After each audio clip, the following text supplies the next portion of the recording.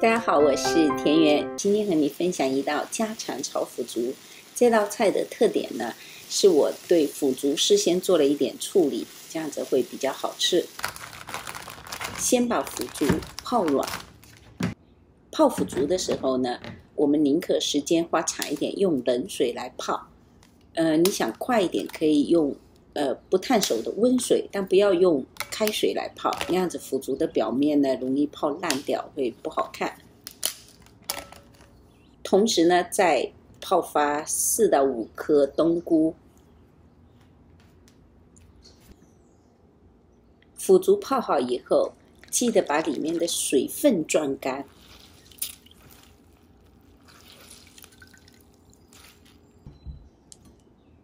再切成小段。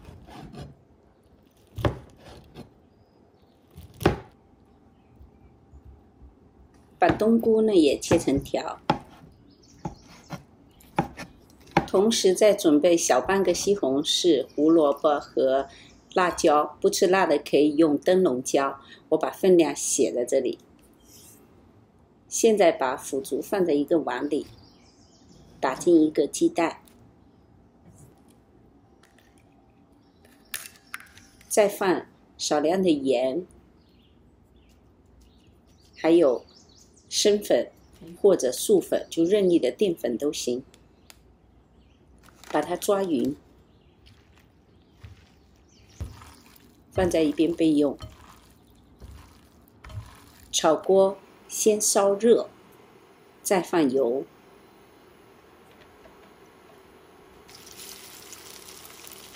把腐竹放进去。开中火来煎，碗底的这些蛋液也得倒进去，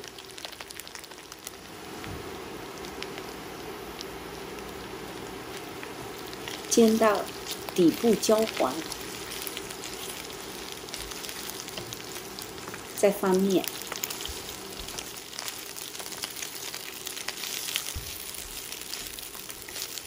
把腐竹全部煎到两面金黄，像这样子，然后取出来，回到炒锅，再放少量的油，把刚才的这些配料都炒一下，冬菇先炒香，还有就是胡萝卜、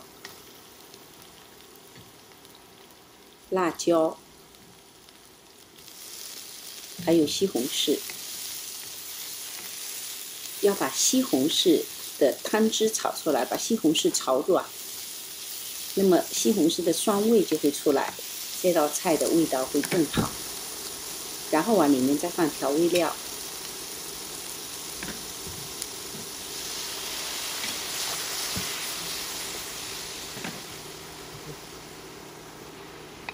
放进炒好的腐竹。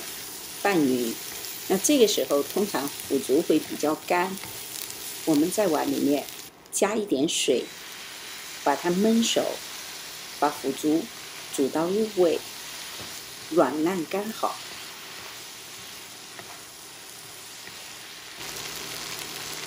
最后淋上香油，也叫麻油，就可以出锅了。腐竹经过这样处理以后，它的卖相和口感以及味道都会更好。